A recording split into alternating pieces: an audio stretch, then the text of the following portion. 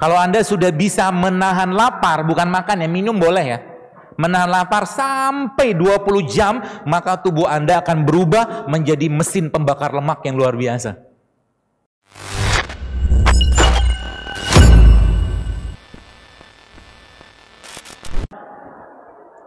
Kita akan belajar dari makanan ini. Saya tanya, kenapa orang habis makan ini ngantuk?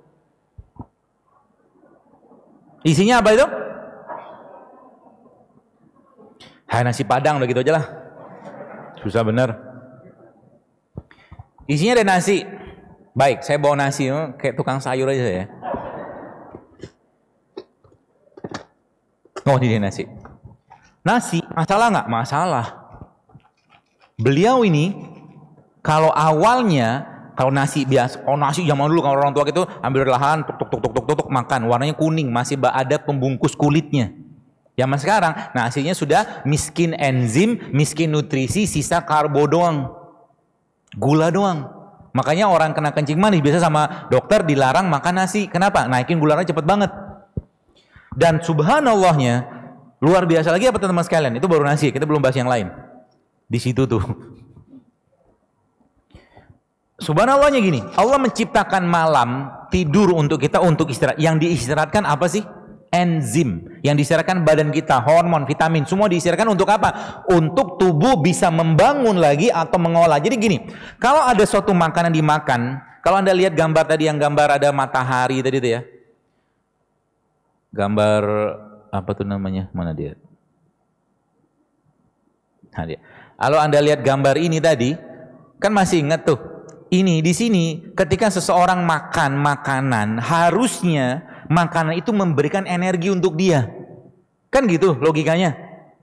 Anda makan nasi, habis makan nasi bersemangat, dapat energi. Ini habis makan malah justru nggak ada energi. Artinya apa? Yang dimakan minus atau miskin gizinya, atau yang memakan itu orangnya miskin enzim. Itu aja. Sehingga apa? Tubuh kita kalau tidak ada dua hal tadi, apa yang terjadi? Dia akan shutdown. Dia minta rehat dulu. Untuk apa bikin enzim? Makanya kalau ada Anda gini, Anda makan begitu kan ngantuk. Sekarang saya tanya, apakah Anda ngantuk juga habis makan rujak? Enggak loh. Habis makan rujak biasanya nggak ngantuk. Rujaknya mau nggak pedes, mau pedes nggak ngantuk. Kenapa? Karena buah masih banyak enzimnya. Paham ya? Gitu ya. Makanya Ramadan bulan untuk apa? Bulan untuk bersih-bersih kulkas, bersih-bersih freezer. Oh, maksudnya gitu lah. Glukosa masuk dalam tubuh kita teman-teman sekalian. Kalau nggak kepake diubah jadi glikogen. Glikogen kalau nggak kepake dia akan transform lagi di glikogen dia akan disimpan di mana? Di otot, sel, otot gitulah. Kalau nggak kepake dia akan disimpan lagi di mana? Di liver. Dan kita nih sebagian besar boleh saya katakan kita tuh banyak cadangan energi nggak kepake, banyak cadangan energi nggak kepake. Taunya dari mana? Gampang. Pertama, kalau anda dulu wajahnya begini, persegi, sekarang wajahnya seperti bulan rembulan, maka banyak cadangan energi nggak kepake. Itu yang pertama. Lalu kedua apa? Tinggal pegang pinggangnya. Kalau banyak lipatan di sana,